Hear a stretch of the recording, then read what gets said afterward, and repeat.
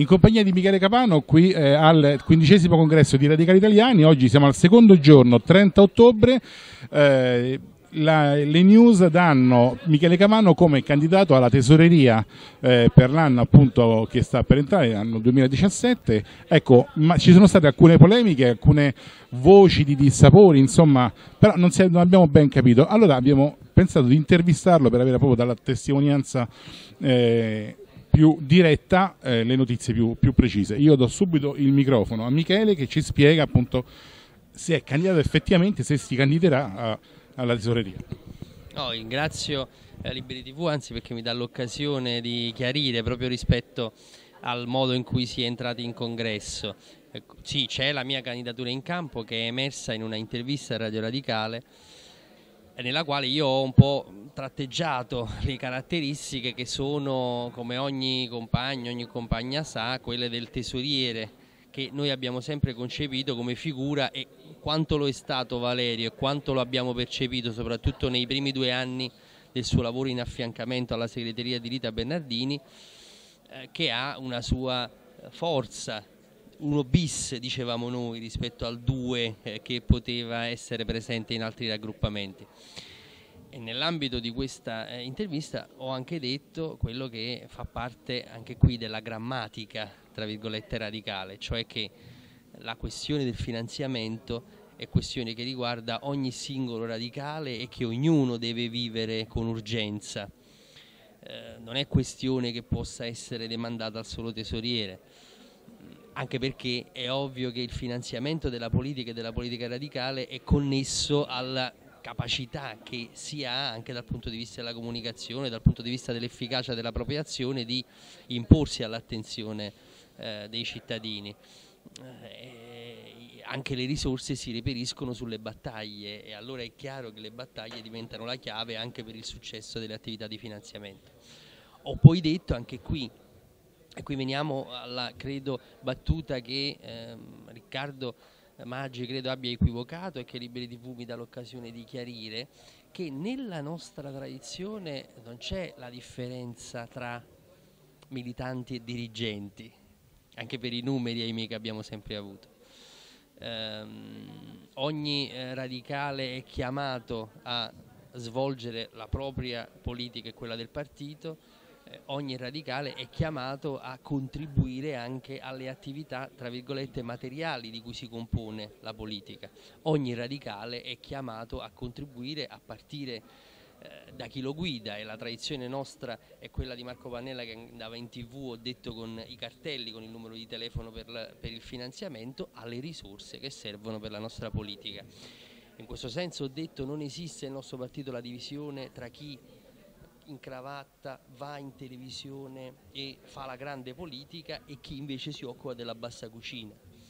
Non era un riferimento personale a, a Riccardo, in quest'anno c'è stato spazio, compreso chi vi parla, per la presenza nei mezzi di comunicazione, grazie anche agli spazi che proprio Riccardo e il gruppo dirigente ha conquistato. Io ho avuto la possibilità, eh, in modo inedito rispetto a quello che era accaduto negli ultimi anni, per esempio di una presenza al TGCOM in cui abbiamo parlato dopo la rivolta minorile di Airola eh, della, della, giustizia ed è qualcosa che devo all'attenzione di Riccardo e ci sono andato in cravatta ovviamente. quindi eh, il mio riferimento alla tradizione nostra e alla impossibilità di dividere eh, queste due funzioni era appunto a questo e non all'attacco a chi eh, giustamente quando ce n'è stata la possibilità ha avuto la possibilità di, di essere presente. Eh, in questo senso se anzi il contesto oppure i termini sono stati infelici eh, è qualcosa che mi dispiace e che sicuramente in questo congresso privatamente e pubblicamente si avrà modo di, di chiarire. Se il problema è questo credo che è un problema che verrà meno. ci può essere un diverso problema che riguarda appunto la continuità rispetto a questa figura storica del tesoriere radicale, se cioè si ritiene che sia inattuale il modello che noi abbiamo nello statuto, che è quello dell'1 bis che è connesso anche, e l'ho detto nell'intervista, al nostro i mezzi prefigurano i fini, quindi chi si occupa più direttamente dei mezzi, siccome tende a condizionare i fini, deve essere qualcuno che ha un diretto mandato congressuale e anche una forza che da questo mandato congressuale deriva e chi può forse ritenere che sia quello un modello da accantonare in favore di una più eh, consueta e tradizionale eh, modo di intendere il tesoriere come organo che invece è più di ausilio, di collaborazione nei termini più classici del, del segretario. Ecco se c'è questo tipo di confronto è un confronto che il congresso dovrà fare, ma sarà questo, tutto politico tipo di confronto, non un confronto su una battuta che sicuramente se è stata intesa eh, in quel modo, mm, devo dire che eh, è stata intesa male, non era quello il riferimento e ripeto mi dispiace, non ho difficoltà a scusarmi se si è inteso quello come, come, un, come un attacco personale. Peraltro io vorrei ricordare anche che eh, Valerio Federico e mh, mm, Michele Capano erano in qualche modo uniti eh, da, um, avendo firmato uno stesso documento prima del congresso di, eh, eh, del Partito Radicale, il quantesimo congresso straordinario, una lettera abbastanza pesante, quindi insomma che praticamente poi sosteneva che non fosse legittima quella convocazione. E quindi comunque sia c'era tra i due perlomeno un'empatia politica, quindi possiamo dire che insomma eh, se una successione ci sarà, sarà insomma senza un certo tipo di frattura, eh, almeno personale. E un'altra cosa che volevo chiederti, appunto, anche ehm, a seguito di questo tuo mh, annuncio di possibile dibattito sulla rottura di una tradizione che vede il tesoriere come segretario 2, insomma, e il discorso, il dibattito sulla ipotetica e possibile modifica statutaria che reintrodurrebbe la possibilità teorica di radicali italiani di candidarsi. Ecco, tu mh, al congresso, nel secondo giorno, senti che mh, potrebbe scaturire da un momento all'altro questa proposta? Certamente la proposta di cui hai parlato che potrebbe ehm, diciamo così, eh, entrare in campo. Io non credo che questa proposta sia decisiva per il futuro di radicali italiani, eh, sia perché viviamo un momento interno all'area radicale in cui questo tipo di modifica potrebbe essere strumentalizzata contro radicali italiani da chi vuole contrabbandare l'idea falsa per cui da una parte ci sarebbero i continuatori della nobile tradizione radicale di lotta politica e dall'altra quelli che vogliono fare il partitino per acquisire gli strapuntini nelle istituzioni sia perché in realtà per come è concepita questa clausola statutaria, cioè quella secondo cui i radicali italiani non si presenta in quanto tale con il proprio simbolo, in realtà già oggi non impedisce ai radicali italiani con altre forme che credo siano anche quelle che possono essere considerate più appetibili tra virgolette dal punto di vista ehm, elettorale di essere presente. Dopodiché se alcuni compagni porranno come è probabile la questione la, la discuteremo non credo che sia la questione di questo congresso, mm, perché è questione eh, in questo senso che rischia di legare non a c'è un fondale che eh, parla del futuro.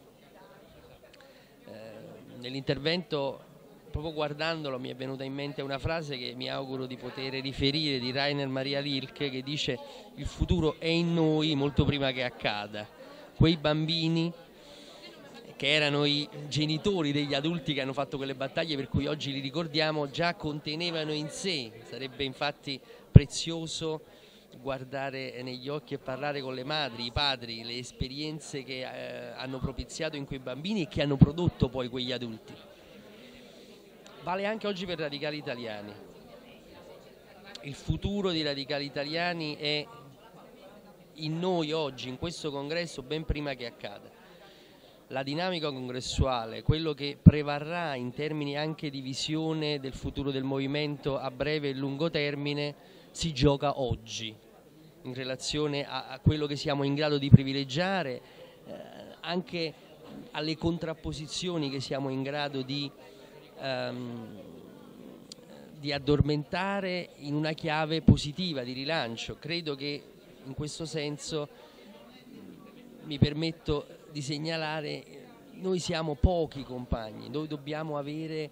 eh, attenzione nei confronti delle personalità che emergono e che possono rappresentare una ricchezza per il movimento. Non ci deve essere un atteggiamento in qualche modo difensivo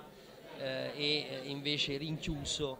ehm, in una idea che è meno eh, grande, meno ehm, attenta alle possibilità che radicali italiani può essere. Perché chiudo ehm, dicendo che io credo ancora nella forza della lotta politica che può mettere in campo questa comunità radicale, quella che è oggi riunita qui in questo congresso. È un patrimonio eh, che eh, ci viene dal passato e dalle notte di noi stessi in questi anni che dobbiamo stare bene attenti anche rispetto agli esiti congressuali a salvaguardare nella sua complessità, nella sua ricchezza e magari a potenziare nell'anno e negli anni che verranno e non invece ad impoverirli con scelte che sarebbero diciamo così, di chiusura, troppo introvertite, che possano anche eh, in giro per l'Italia ai compagni dare il senso di una volontà che non è di, eh, di eh, arricchimento del movimento ma di impoverimento. Bene, grazie a Michele Capano e seguiremo con lui questo congresso. Grazie davvero.